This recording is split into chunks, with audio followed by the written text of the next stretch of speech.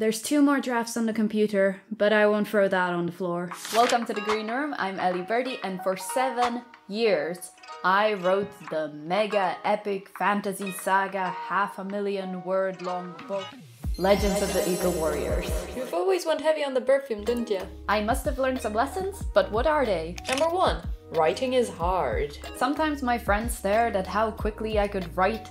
Other times I threw my notebook across the room in frustration. Even if we love to do it, writing is hard. We're creating characters, stories, worlds out of words. It's a lot. It's an art form without limits. I won't sugarcoat it.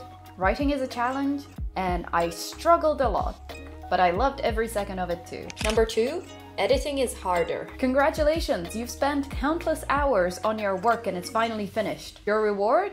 Admit to all your mistakes. After finishing a draft, I always take a break to give myself distance from the project. Then I come back and realize everything I wrote is awful. That's when it's time to edit, improve, change. Perfect doesn't exist in literature but better does. And that's what I always try to aim for. Number three, beta readers are great. Writing this book, I lived in the belief that it would be the next big bestseller. You know, typical delusional mindset of an overachieving preteen. Anyway, I let people read and critique my work, and it was so useful. As a writer, seeing the reader's mindset of what works, what doesn't, what they like and dislike, is priceless. And if your beta readers don't tell you anything other than, it's good, don't be shy, dig those answers out of them by asking specific questions. Number four, the process trumps the end result. While I was writing across these seven years, I had the belief that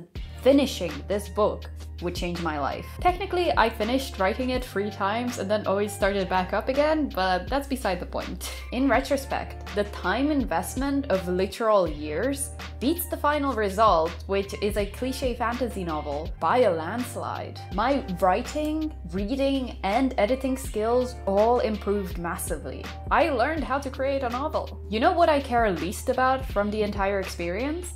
The actual last draft please don't make me read it. If you're enjoying this video, please consider hitting the like and subscribe button for more fast-paced short writing content. Number 5.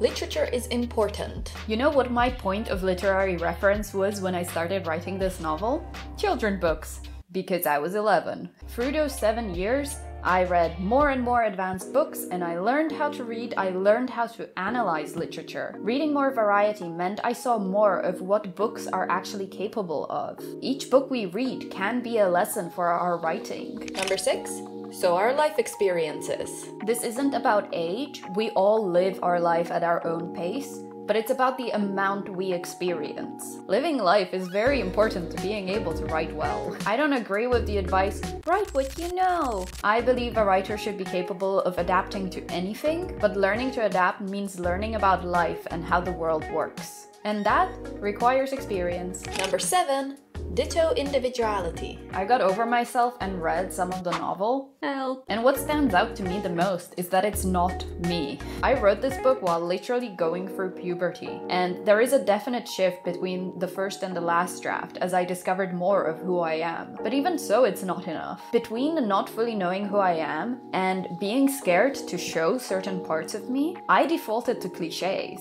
In the time of AI, it's more important than ever to write with our own voice. We're all unique as people, but showing that uniqueness through our writing, that's a skill. I'm curious, what's the first writing project you ever wrote?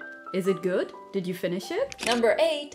Shorter projects are better. Half a million words, four full drafts, seven years of work. That all sounds really impressive, doesn't it? I don't really have any regrets about it, I don't see the point in that. However, given the chance, I tell my younger self to work on several shorter projects instead. Because other than being able to brag about this impressive thing I did, there's very little I can actually do with this project now. Not only would I have learned more from several shorter projects, I'd also have more opportunities to share and publish and gain readers from these. Number 9 be prepared and be patient. Speaking about publication, I wrote each draft thinking it was gonna be the one. Then I'd realize, no, it's not ready yet, I need to work on it some more. Writing a full book is a huge commitment, time and energy wise. There are always so many hack videos recommended to me about writing faster, but in my experience, that only leads to more editing later on. Especially with a first project, it's easy to underestimate how much effort is actually required. So be prepared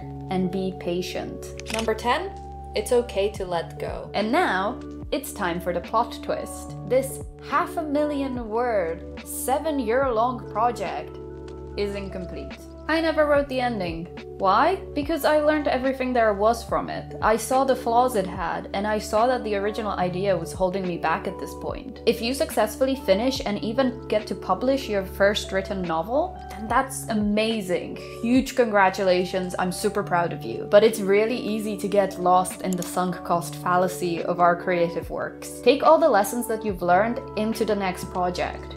It's okay to let go and move on. You can always make a YouTube video about it later. Yup. I hope you enjoyed this video, even if you disagreed with everything I say. Thank you for watching and have a lovely day. Bye!